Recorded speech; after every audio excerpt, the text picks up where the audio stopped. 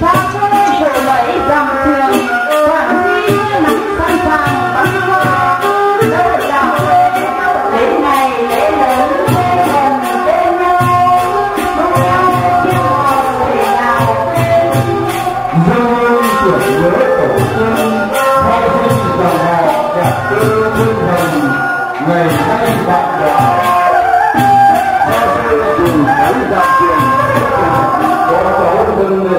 mời tổ tiên cùng nhau chung họ một nhà tình thân ruột thịt đậm đà tình thương